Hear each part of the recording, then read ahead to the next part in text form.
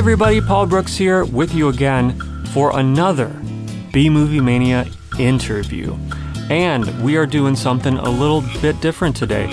Eddie Brandt's Saturday Matinee is a legendary video store here in Los Angeles, and it's one of my favorite places in town. So I was in the store the other day talking with Tony Nittolli, who's one of the longtime staff members there, and Donovan Brandt, who is the owner and the son of Eddie Brandt. And I asked them if I could bust out the podcast mic and just chat with them for a couple minutes about the store. And they said, sure, why not? So you're going to hear me start talking with Tony at the beginning, and then Donovan comes over to the front of the store and starts chatting with us as well. Eddie Brandt's is an amazing place. It's well known here to cinephiles and even big time filmmakers like Tarantino and P.T. Anderson.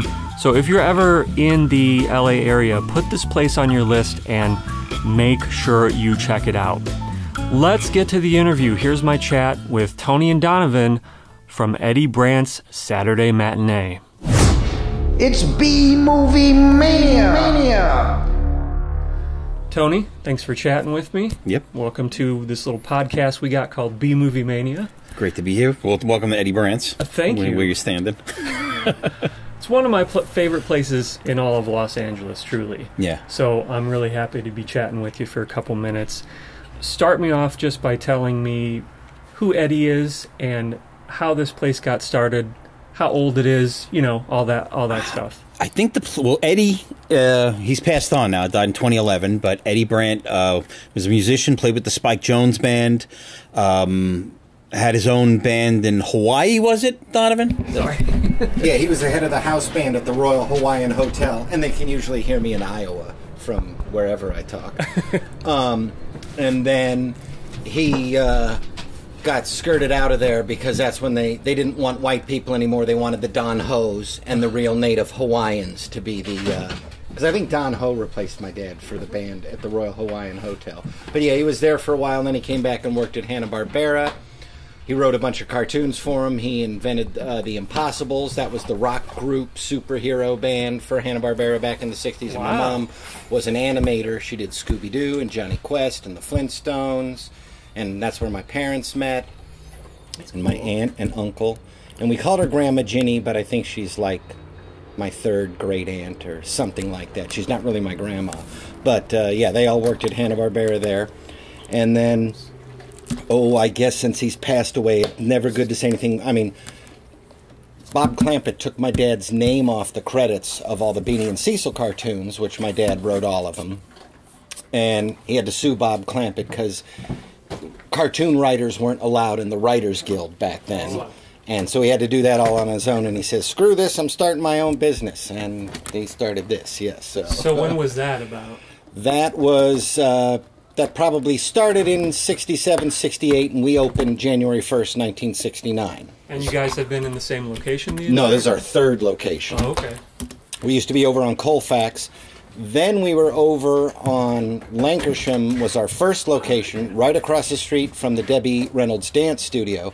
And the Debbie Reynolds Dance Studio at that time was the post office for the entire valley. I mean, that was the only post office in the valley, but that was a million years ago. And yeah, so he um, we bought out two uh, poster archives from National Screen Service way back in the day.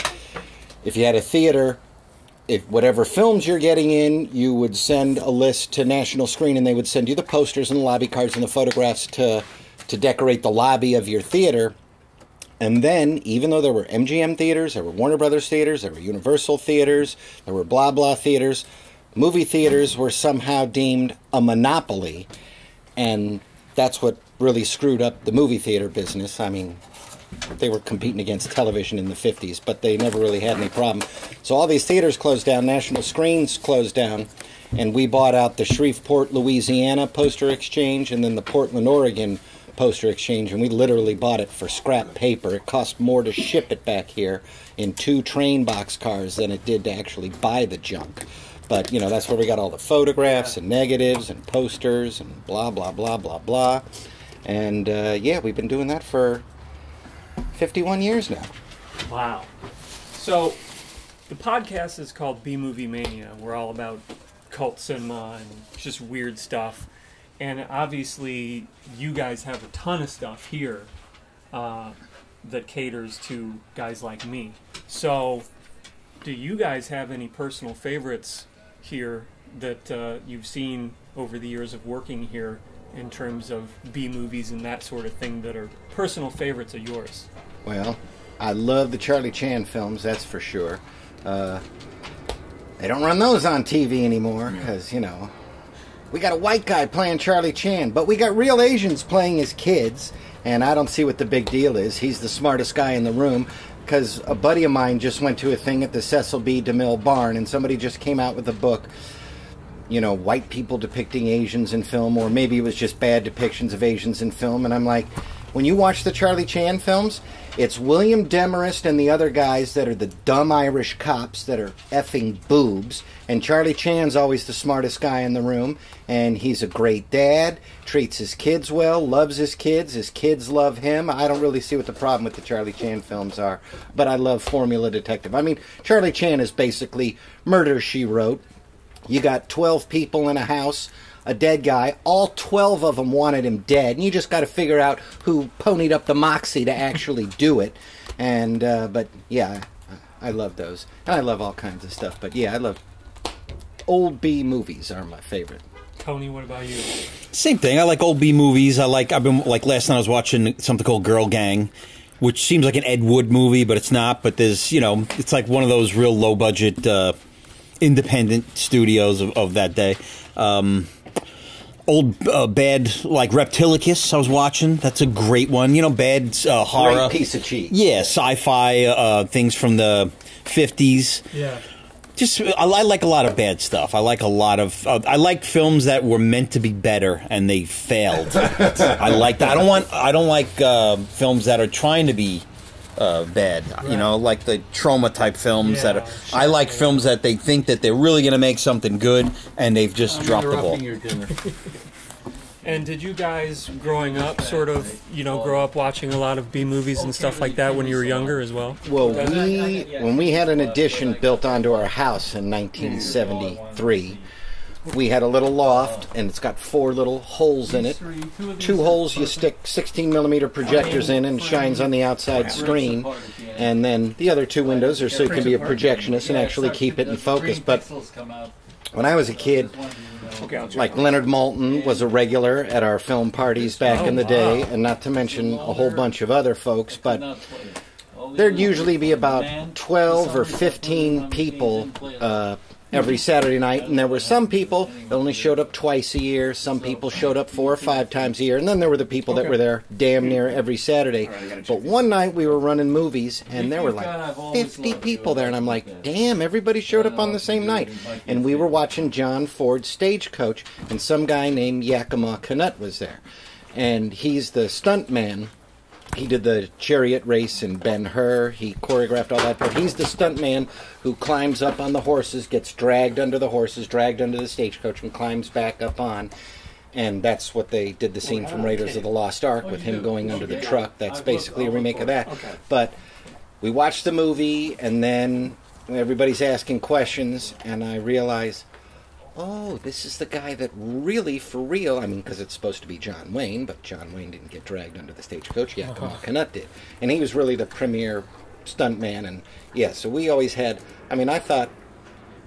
I thought everybody swam in Burt Reynolds' swimming pool when they were kids, and uh, you know, uh, got to go to Billy Barty's house for holidays, and It was normal for you. yeah, well, I mean, I'm like, oh, doesn't everybody watch old movies on Saturday night? And, you know, a lot of the stars come by and watch them and stuff like that.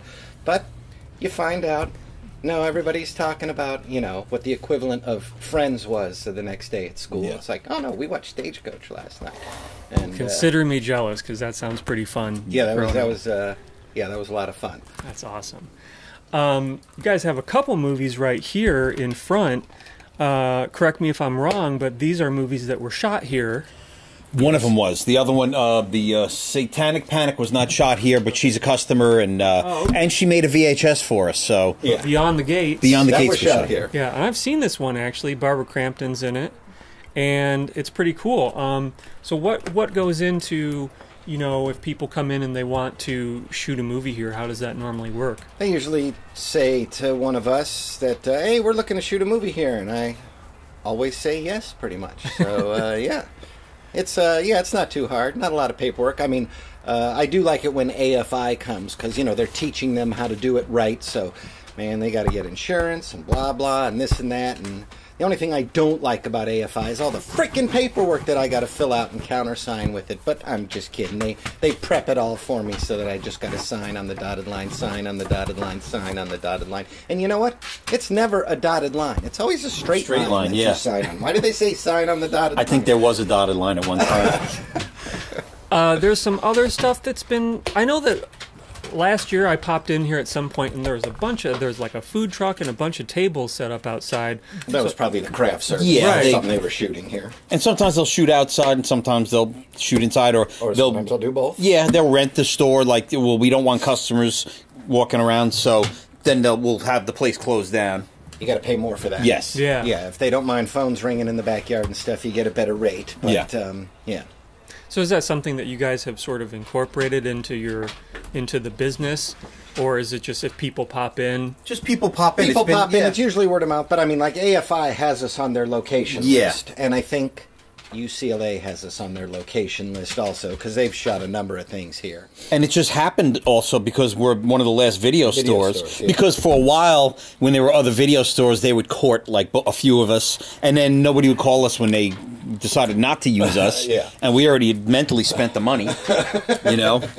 So that sucks. But now it's narrowed it down. Now, if they need a video store, chances are they're going to use us. Right. Us or Cinefile. Right, right, yeah. Yeah, so speaking of, I mean, obviously, video stores have gone the way of the dodo. Any secrets that you want to share as to how you guys managed to stay here and have been here for, for so long? Well, because I don't care what Netflix says, and don't get me wrong, I enjoy watching Netflix, and I like the way it works. When you're binge watching TV, as soon as the end credits start, man, you go right to the next episode, and you don't have to watch previously on because you just seen it, so they cut right to past the opening credits. Does make it easy, but man, I got 80,000 titles here. And Yeah. I got stuff that's never been released on Blu ray, never been released on DVD. Uh, and not only that, I mean, I will say the Netflix and even your Spectrum Guide, whatever. Oh, if you like this, you might also like this. And, well, even though that might be about a girl trying to find her way home, these movies are nothing similar. And if you like this, you're probably going to hate this. That's a computer algorithm that. Because we do that, right? but- if but you like this, you maybe you'll try that. And you got super nerds like the three of us, then you get real recommendations. Yeah. And I mean, one of the reasons I think why Quentin Tarantino makes such movies that he, that everybody loves is he worked in a video store for five years. Dude, I love this movie. Oh, really? What'd you love about it? And he's a movie nerd, so when people say, "Oh, I love this about it," I love this about it, it's not that some girl was trying to find her way home. It was that she was driving a '67 Charger and she was blazing across Route 66. I mean, whatever. There's more nuances to why people do and do not like things. Right. And that's why it's it's better to talk to people. Uh, I think. I mean, Absolutely. It's, and you know, it was okay. Like back in the days when you had to frickin' Vaseline yourself to get in here. I will say it's slowed down a little, but yeah, we ain't going nowhere. But some guy, brand new guy, comes in and he's talking to my mom and he's like, Look, I'm embarrassed to tell you that this is why I'm here and this is what I'm looking for. But there was this movie I saw when I was 12 and blah, blah, blah. No BS. Somebody on the other side of the counter was renting that movie that he had come in to get, and he says, "Oh, this is your first time here? No, you take it. I'll get it when you bring it back." But he was like, "Oh, I'm embarrassed to say," and it's like, you ain't got to be embarrassed. That guy's getting it because I don't know if he saw when he was 12 or not, but he wants to see it now, and he's your age, and it's all good. But um, That's yeah, awesome. it's it's the unfortunate thing about the home video business is is that's why I dislike going to movie theaters now because everybody's used to watching a movie in their frickin' living room.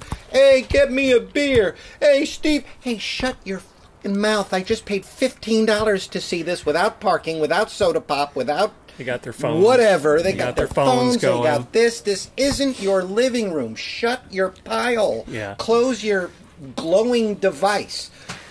They want to take a picture of the screen to show up everybody on social media those, that they're watching a movie instead of watching a things that movie. Tom Cruise had in the first Mission Impossible movie, where you turn it on and nobody's cell phone will work for like a, a fifty foot radius. That would be nice when you go to. Uh, Because uh, this is an audio only podcast, uh, if you're not in Los Angeles and you've never been to Eddie Brandt's, truly you have to come in because it is an incredible place.